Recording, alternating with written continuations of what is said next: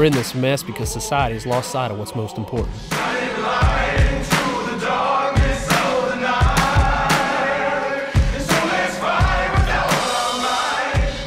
What matters most to me is my faith and my family. And I know I'm not the only one who believes that way.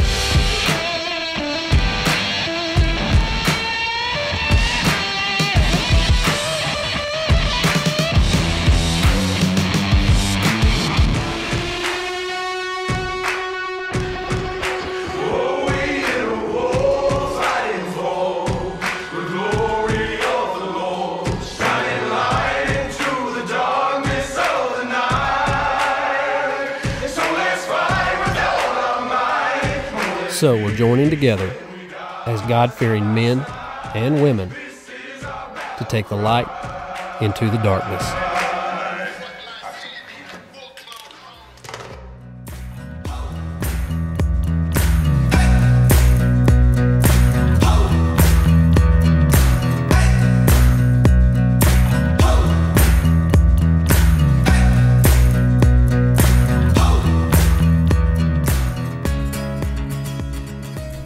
Favorite hunts every year is loading up and heading to West Texas to hunt antelope with 4F Outfitters.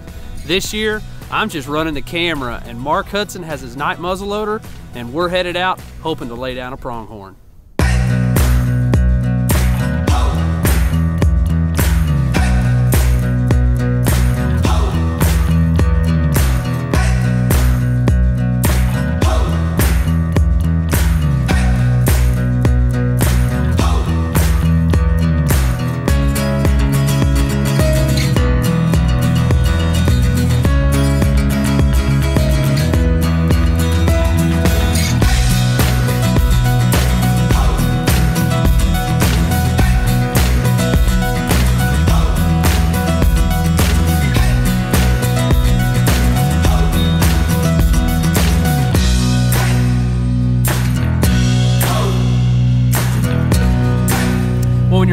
4F Outfitters, it's not an issue of if you're going to see an antelope, it's which one do you want. The numbers are great in West Texas, and the guys at 4F do a great job doing their homework. So you know it's going to be just a matter of time before you spot a good antelope and you're putting on a stock.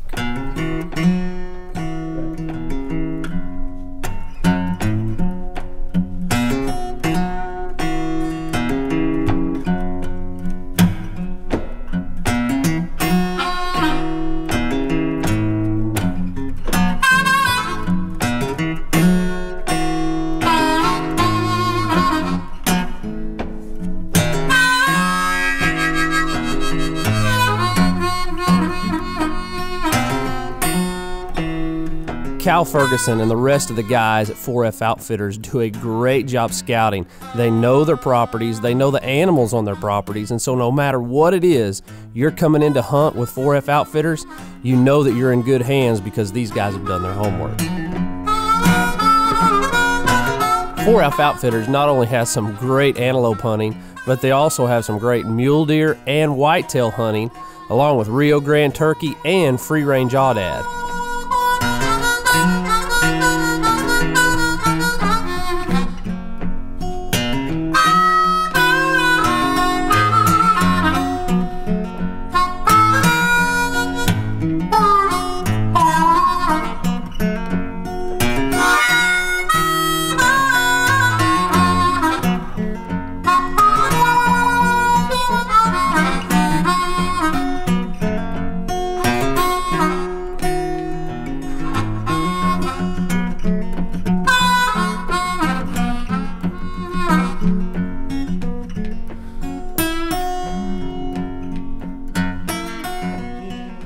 We spotted this antelope from the road, and he's not in a great position, but the wind's right for us to get down into a draw, make a big circle around him, and try to come up into his face. We move in, we get into position, and it looks like everything is going to come together perfect for us.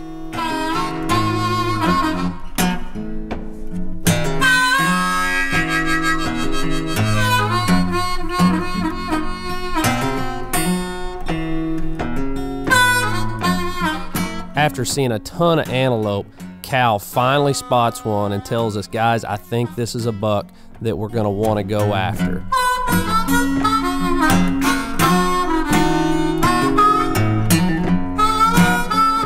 He's big, he's mature, and he's exactly the type of antelope that you want to come out and try to hunt with 4F outfitters.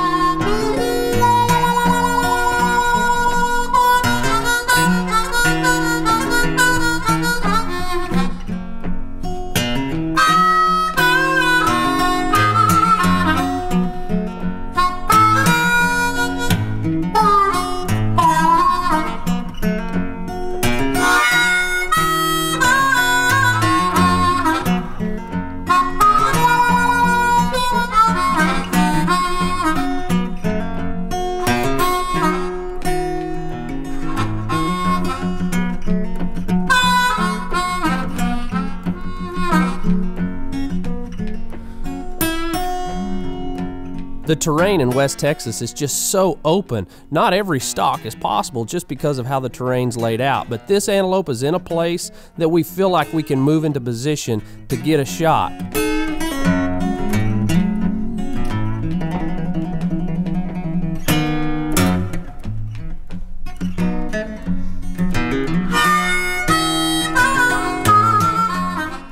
Right, we drop down into a draw, and Cal leads us in, really taking our time.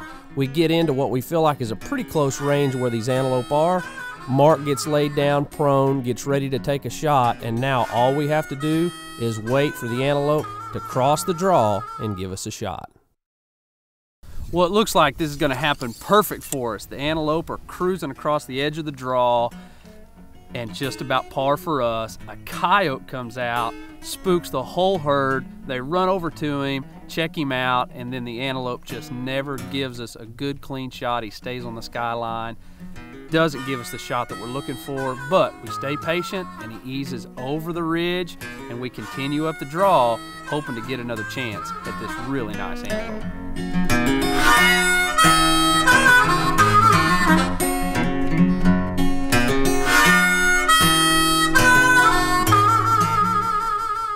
Well, we ease up to the edge of the draw, and Cal just sticks his head up over the edge. There's a drainage, and he goes up and lifts his head up, and he sees the antelope. They're at 80 yards, so all Mark has to do is sneak up, get his Knight muzzleloader in position, and make a great shot.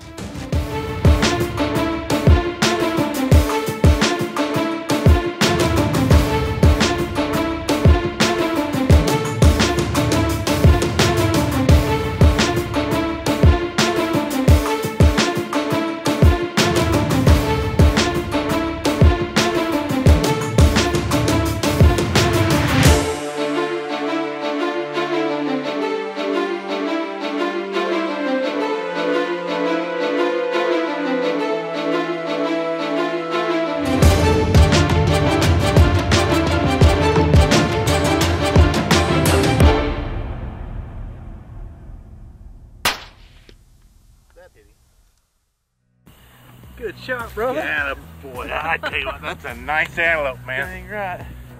I look over, he come across by us 40 yards and had all of them all boogered up.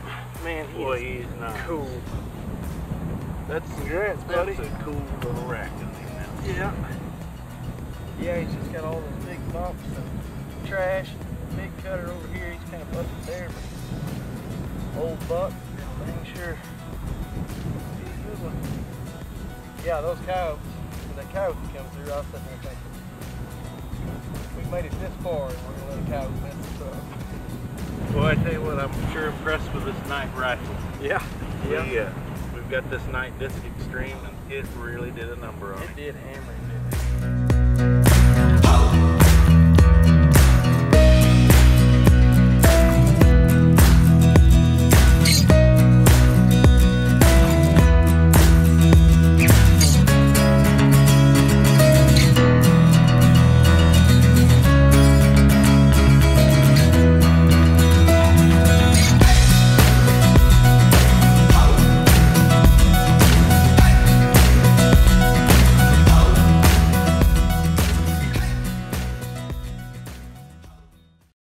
So every year we do a ministry fundraiser banquet for our nonprofit ministry, and the guys at 4F Outfitters were kind enough to donate an antelope hunt to be auctioned off. And so at that event, Dylan Harden, his grandpa actually bought the hunt for him. And so Dylan is joining up with me and Mark out at 4F Outfitters, and we're going to be tagging along, running camera, hoping to get Dylan on his first antelope ever.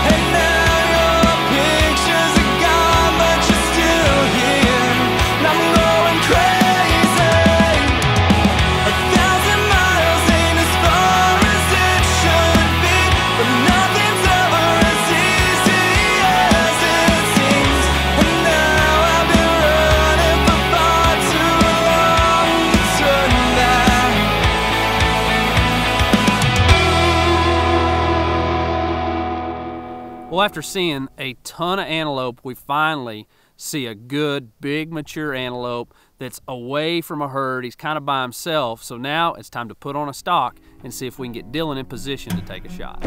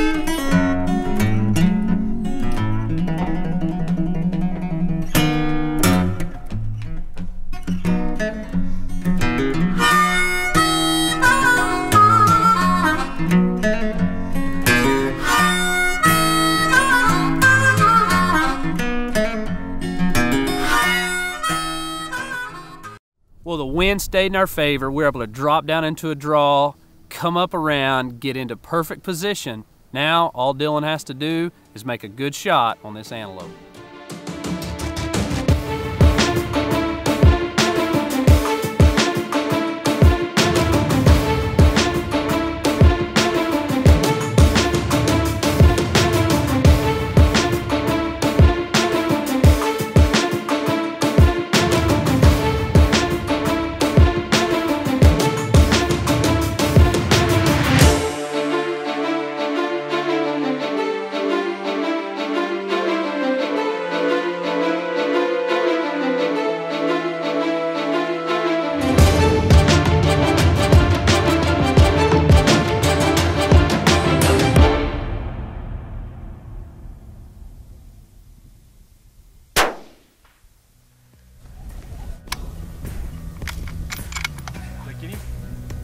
Oh, buddy. He's done.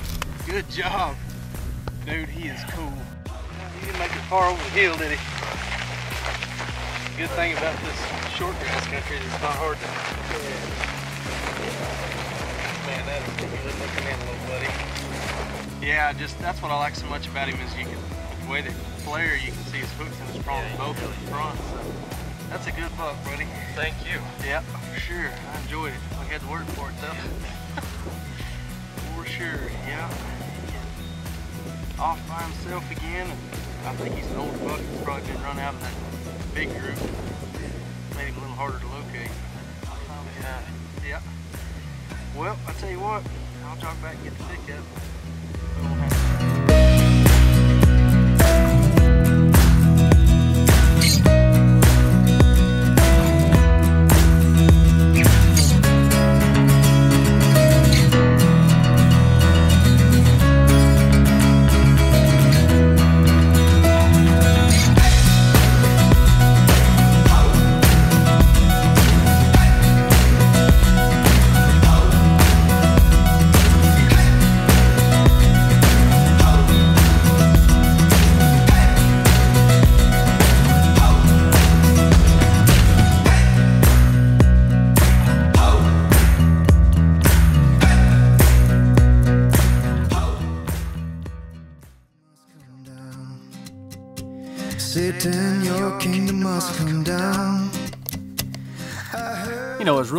Awesome experience to be able to tag along with Dylan and his grandpa and see how the heritage of hunting was being passed down from generation to generation. 1 Corinthians chapter 11 verse 1, Paul says to us, he says, "Be imitators of me as I imitate Christ." I really believe this is one of the most bold statements in all of scripture. What Paul's essentially saying is, if you want to know how to be a godly man, hang out with me. I want to show you how it's done. He's saying, I want to pass along my Christian heritage, not just through what I say, but also through what I do. You know, if you're a father or you're a grandfather, our job is to pass along our Christian heritage to the next generation. And I love the boldness of Paul by saying, if you want to know how it's done, hang out with me because I want to live a life that points you to Christ.